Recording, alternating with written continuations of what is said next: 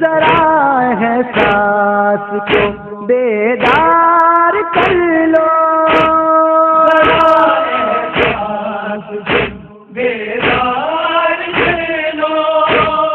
ذرا حجرے سے روایت کے الفاظ ہے کہ امام کا جو گوشت تھا نا وہ کھل گیا۔ تھا زنجیریں اتنی موٹی تھیں اور اتنی وزنی تھیں کہ امام کے ہڈیوں تک پہنچ گئی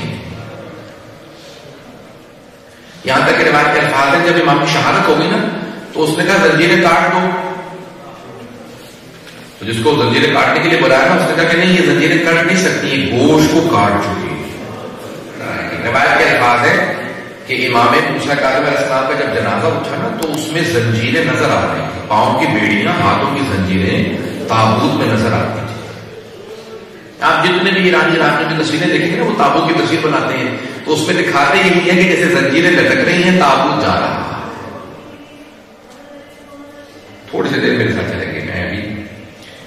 آج عجیب و غریب میری اتنی کیفیت ہے یار۔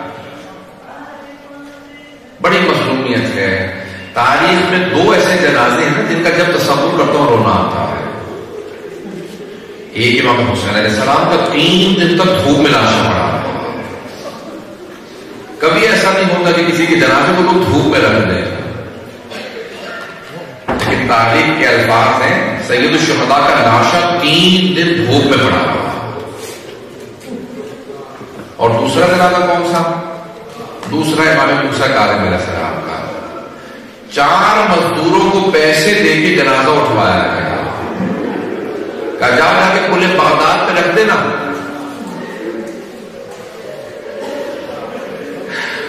روایت کے الفاظ ہے کہ جب وہ جنازہ جا رہا تھا نا، ایک پانچویں آدمی کو پیسے دے کے ساتھ میں بھیجا گیا تھا کہ تم نعرے لگاتے رہنا۔ میں آگے میں پیش کروں گا، آج پڑھ رہا ہوں بس۔ حضرت عمر اللہ دو روایات پیش کرنا چاہتا ہوں، امام کی، اس سے پہلے کہ امام کی پورے مسائل پیش کروں۔ چھٹے امام علیہ السلام کے پاس مجلس ہو رہی تھی امام حسین علیہ السلام کی جیسی مجلس شروع ہوئی نا تو امام نے کہا رکو جا کے نہ پڑھنا امام جعفر صادق علیہ السلام نے کہا کہ مولا کیوں مسائل کا وقت آ چکا کہا کہ ذرا میری اپنی بیٹیوں کو بلا لو میری بہنوں سے کہو مجلس میں آ جائیں ذرا میری ماں کو بلا لو امام نے اپنے نوکر سے خادم سے کہا ذرا پردہ لگا ہے اس نے پردہ لگایا، امام نے آواز دی کہا ذرا میری والدہ کو بلا دو، حضرت ام فروا کو۔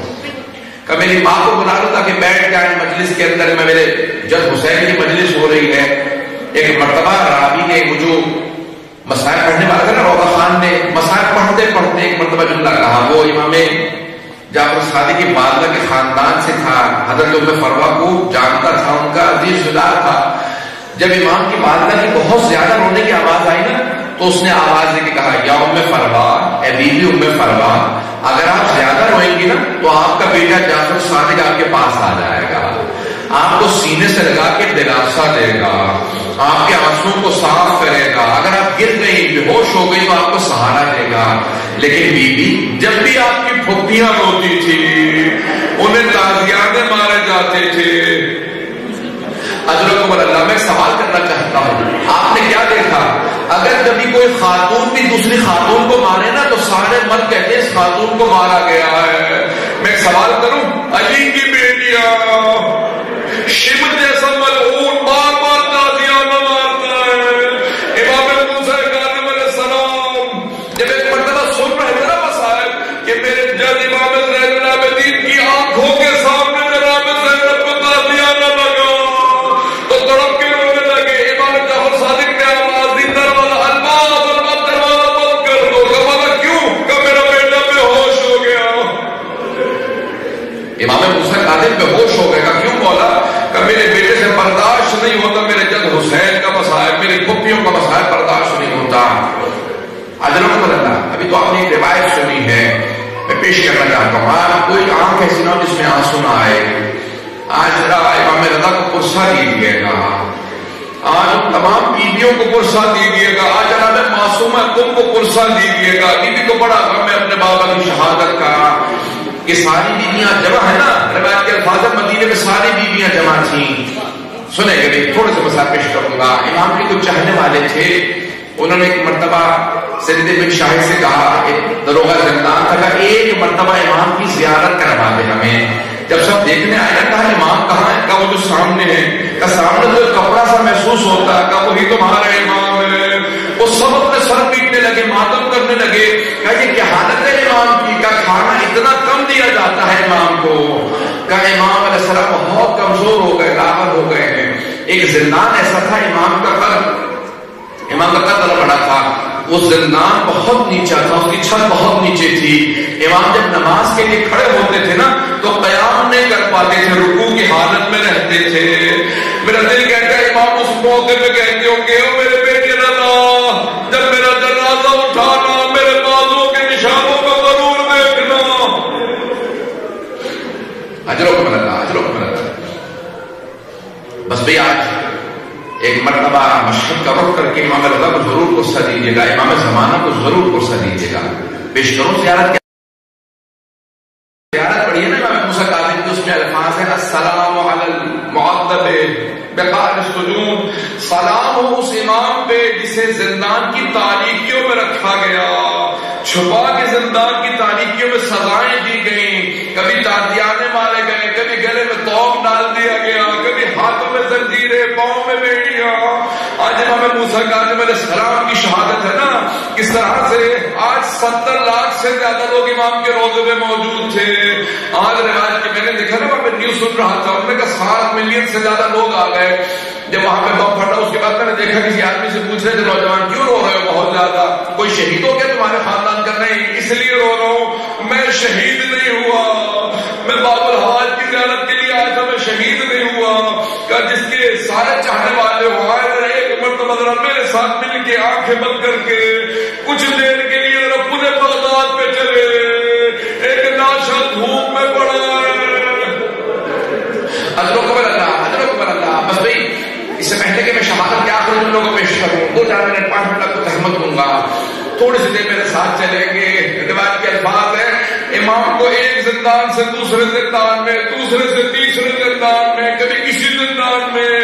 امام سے کسی چاہنے والے نے کہا کہ مولا میرے ساتھ میرے گھر چلے۔ میں آپ کا چاہنے والا ہوں۔ کہا کہ نہیں مولا نے کہا نہیں، میں نہیں جانا چاہتا۔ کہا نہیں مولا میں نے دروگا زندان کو پیسے دے دیے ہیں تاکہ میں آپ کو گھر لے جاؤں، آپ کی خدمت کروں گا۔ مولا نے کہا، میں نہیں چاہتا، میری وجہ سے تجھے کوئی سزا ملے۔ کہا نہیں مولا کوئی سزا نہیں۔ چاہنے والا تھا لے گیا کچھ دیر میں اپنی بیوی بچوں سے کہا، سارے گھر کو صاف کر دینا۔ آج رسول خدا کا بیٹا ہمارے گھر آ رہا ہے۔ آج دوسرے کاتب ہمارے گھر آ رہے ہیں۔ شیعہ نہیں تھا صرف چاہنے والا تھا۔ اس کی بیوی نے سارا گھر پاک کیا۔ کہا کہ ارے امام، ہمارے گھر آ رہے ہیں۔ سارے گھر کو پاک کیا۔ کہ مولا، جو کہیں گے وہ کھانا پکا دیتی ہوں۔ کا کچھ نہیں کھانا، صرف وضو کا پانی رکھ دو۔ ایک مسلح بچھا دو میں عبادت مدد کرتے رہے۔ اگلے دن واپس آ گئے۔ کہ مولا فجر کا وقت تھوڑا زندان لے لو واپس۔ کا ہاں چلتا ہوں، جیسے چلے۔ اگلی رات آئے کمالا پھر میرے گھر چلے گئے کچھ عبادت کے لیے کرنے۔ تیرے گھر نہیں جانا چاہتا۔ کمالا کوئی گستاخی ہو گئی ہو بتا دی۔ دیجیے مجھے معاف کر دیجیے گا، نہیں کر تم نے کوئی گستاخی نہیں کی۔ اور مولا، اگر میری بیوی یا بچوں سے کوئی کوتاہی ہوئی ہوگا، نہیں۔ کمالا پھر کیا بات ہے؟ کیوں نہیں آنا چاہتے؟ کہ تمہارے ہمسائے میں کچھ لوگ اس طرح کی گفتگو کرتے ہیں، مجھے اذیت ہوتی ہے۔ کچھ گانے بجانے کی حرکتیں کرتے ہیں کہ میرا گھر کے اندر جی نہیں لگتا، عبادت کے اندر۔ میں یہیں پہ زندان میں رہوں گا، بس بھائی، ایک مرتبہ کچھ کھجوروں کے اندر زہر ڈال کے امام کے سامنے رکھا۔ امام نے دو کھجور علی کا کہ بس واپس چلے جاؤں گا کہ نہیں، ساری کھجوریں کھائیے۔ امام نے کہا جب دو کھجور سے تمہارا کام ہو گیا تو ساری کھجوریں کیوں گرانا چاہتے ہو کہ کیا مطلب ہے میں زہر مجھے معلوم تھا اس میں زہر ہے باقی واپس لے جاؤ ایک مرتبہ امام نے سارے زندان والوں سے کہا کہ آج میرا رنگ بالکل سفید سرخ ہو جائے گا پھر زرد ہو جائے گا سمجھ لینا زہر اپنا اثر کر رہا ہے دو سے تین دن گزرے تیسرے دن یہ ایک طبیب کو لے کے آئے طبیب نے ڈاکٹر نے آگے پوچھا تھا کیا بات ہے امام نے اپنی ہتھیلی کو کھولا جیسی ہتھیلی کھلی نا بالکل سفید ہو چکا تھا جیسے خون ختم ہو گیا کہا مولا کیا بات ہے؟ امام نے کہا، تو طبیب ہے، تو نہیں جانتا کیا ہوا؟ کہ آپ کو زہر دے دیا گیا ہے۔ ایک مرتبہ امام نے مدینے کا رخ کیا۔ آنکھیں بند کر کے کچھ وسیعت کے جو